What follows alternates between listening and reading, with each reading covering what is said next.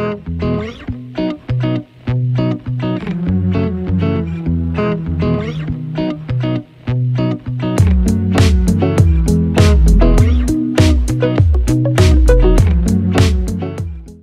e bene cari fratelli e sorelle, bentrovati! In questa quattordicesima domenica entriamo nel sesto capitolo del Vangelo secondo Marco e incontriamo il rifiuto che Gesù subisce da parte dei suoi concittadini. Tenete conto, questo episodio prefigura il rifiuto di Israele e anche le resistenze che da sempre sono radicate nei nostri cuori davanti allo scandalo dell'incarnazione. In modo semplice, questo testo ci aiuta anche a chiederci, può capitare persino a noi di rimanere imbrigliati nelle nostre idee o preconcetti, non aprendoci all'opera di Dio in noi in chi abbiamo accanto? Purtroppo sì, ed è una brutta schiavitù. Andiamo al testo. Gesù ha iniziato a predicare e a compiere prodigi. È conosciuto, è diventato un po' la gloria locale. Un sabato Gesù torna a Nazareth, dove ha vissuto circa 30 anni, e va ad insegnare nella sinagoga. Molti, ascoltandolo, si meravigliano, ma in senso scettico. Il termine è ekplessomai, ed esprimono questo stupore in una serie incalzante di cinque domande. Le prime tre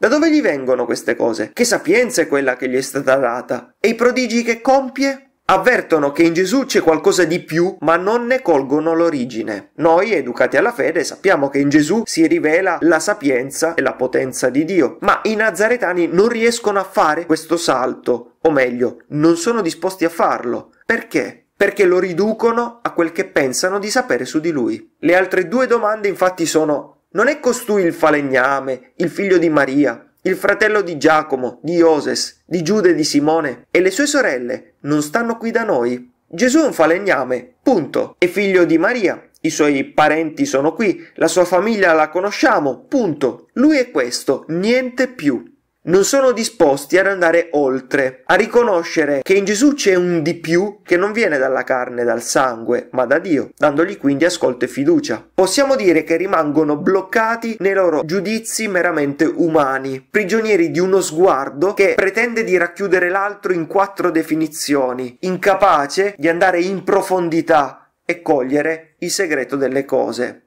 È una cosa molto comune, miei cari, rimanere imbrigliati nell'idea che ci facciamo della realtà e delle persone. Se vogliamo lasciarci stupire da Dio, se vogliamo fare un salto in una fede più profonda, se vogliamo entrare nella realtà, abbiamo bisogno di non assolutizzare le nostre idee, i nostri criteri, le nostre prospettive, L'idolatria della mente è una delle idolatrie più potenti. Ho il mio punto di vista, mi ci attacco al punto da negare anche l'evidenza pur di non mollarlo, qualora fosse sbagliato. Quanti ad esempio dicono di non credere in Dio in nome della propria ragione. Ecco, il problema è che non credono in un Dio trascendente, ma hanno fatto della propria scatolina cranica il loro Dio che con tutto il rispetto è certamente poca cosa rispetto all'Onnipotente. Ecco, è pericoloso assolutizzare la propria opinione e ridurre Dio e gli altri ai propri schemi. Anche nelle relazioni fraterne, vi faccio un esempio semplice. Quante volte di una persona si conosce il nome e poco più? E se ne parla tranquillamente dicendo sì, la conosco, lo conosco, quello è così e cos'ha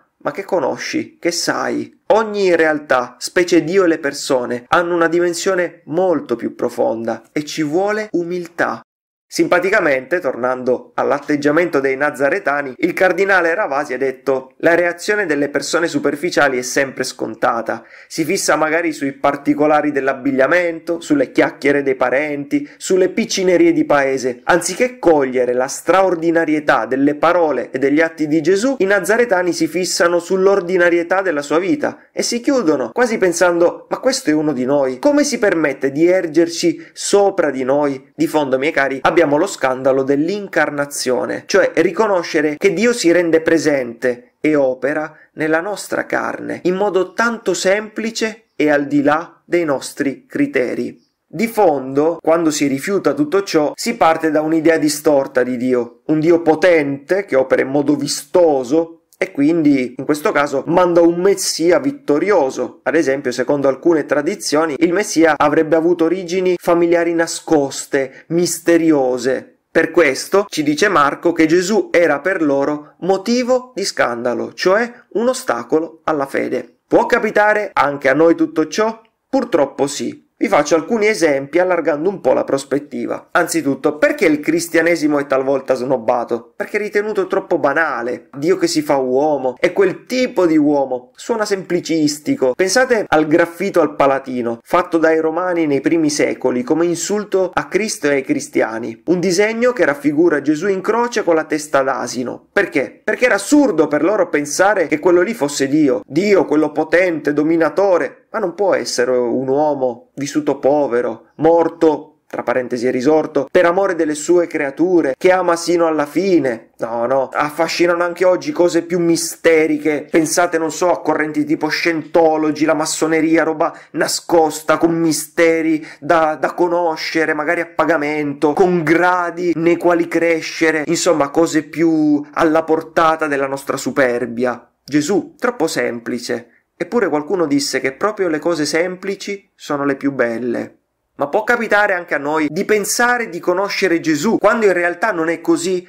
Purtroppo sì. Vuoi per le tante banalità di cui ci si nutre, vuoi per un annuncio limitato ricevuto su Gesù, vuoi per la nostra fede non coltivata, vuoi per delle testimonianze di cristiani non proprio edificanti, quanti pensano di conoscerlo invece no, e cercano altrove ciò che solo lui ci può dare, la salvezza. Mi colpiscono molti giovani che nel corso del cammino che proponiamo condividono come Gesù effettivamente non l'avessero incontrato e conosciuto, ne avevano un'idea distorta, parziale, limitata. Ecco, uno studioso scrisse per cogliere il mistero della persona di Gesù bisogna aprirsi al Gesù reale e non ridurlo al ritratto che ci eravamo fatti di lui. Per questo è necessario lasciarci sempre rievangelizzare dal Vangelo, accogliere con umiltà e amore le parole di Gesù, coltivare l'intimità con le persone della Trinità per diventare familiari allo Spirito Santo ed entrare sempre più in un rapporto personale col Signore. San Francesco d'Assisi pregava dicendo Chi sei tu e chi sono io?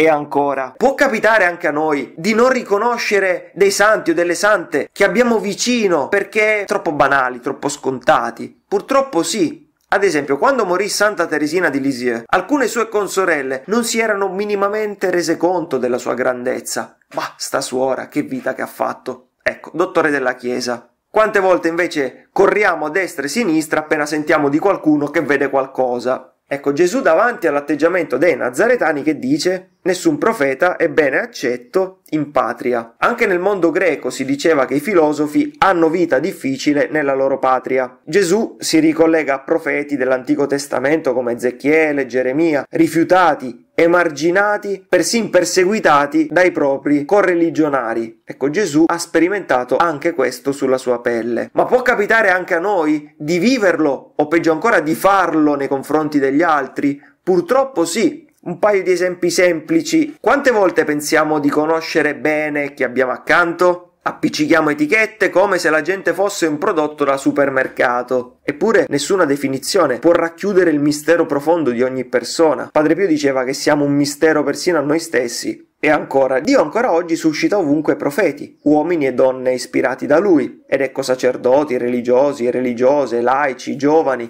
uomini e donne di Dio, Può trattarsi di persone cresciute nella fede o di persone che vengono da vite travagliate o da vissuti difficili. Quante volte sono rifiutati e osteggiati da familiari, amici, conoscenti e magari accolti da altre persone? Qual è il problema? Non solo che sono scomodi, ma che non si è disposti ad accogliere un di più che Dio sta operando nel loro cuore. Facciamo un altro esempio. Una persona inizia un cammino di conversione o un giovane un cammino di consacrazione e viene bersagliato da parenti e amici. Perché? Perché per loro non è possibile che Dio stia operando nel cuore. E senti frasi tipo io conosco mio figlio, io conosco mia figlia, non è per queste cose, chissà che gli è successo, che gli hanno detto. Ecco, ridurre l'altro a quel che si pensa di sapere. A volte non lo si fa per male, magari non si capisce ciò che sta vivendo la persona, ci vorrà del tempo, ma pensare di sapere già è micidiale. Tornando al Vangelo, Gesù poté guarirne solo alcuni, coloro che si erano aperti a lui dandogli fiducia, coloro che non si sono arroccati nelle loro idee o nei loro preconcetti. Quelli hanno vanificato la potenza di Dio, questi no, l'hanno lasciato agire.